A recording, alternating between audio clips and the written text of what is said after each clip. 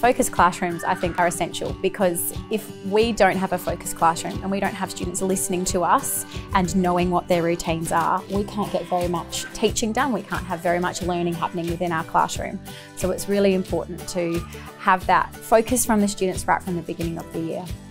Rules and routines are often established first day, basically. So the first day of school when they come in, um, we tell them what we expect of them. We brainstorm different expectations that they feel they need.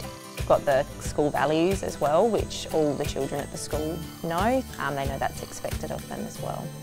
I think high expectations are really important so that the students understand that we will be modelling the behaviour. What we expect from them is the best for their learning, and the reason is because we want them to learn and enjoy school. And if they want to have an enjoyable experience, then these are the things that we will do within our classroom. We have a whole school approach, so it's really easy for us to establish something between the two of us that's clear and consistent. The students know that we know the rules, and if I went into any class in the school, I'd be using some of the same strategies. So both of us model our behaviour and the, I guess the steps within this school.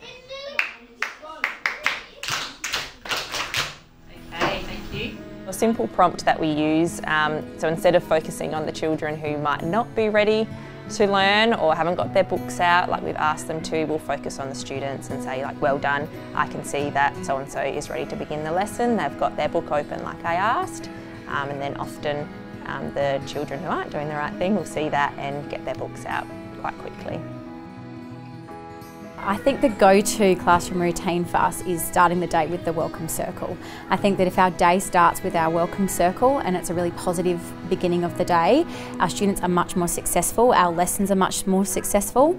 So we always start with, um, you know, positive touch we call it, where they'll high five each other or do a foot tap. They'll use another student's name to say good morning. Good morning,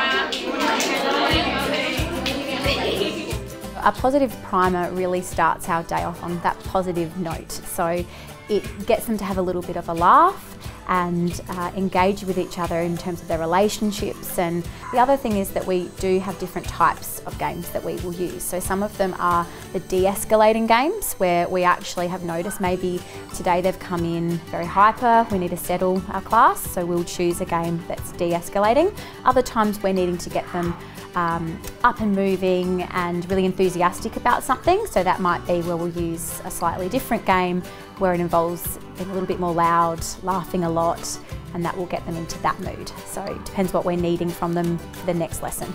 Three, two, one, and track the speaker.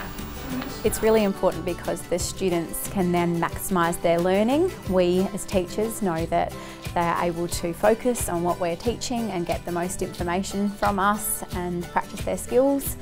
And so I think it's all really about making sure they're comfortable um, and they're very aware of what's happening within the classroom.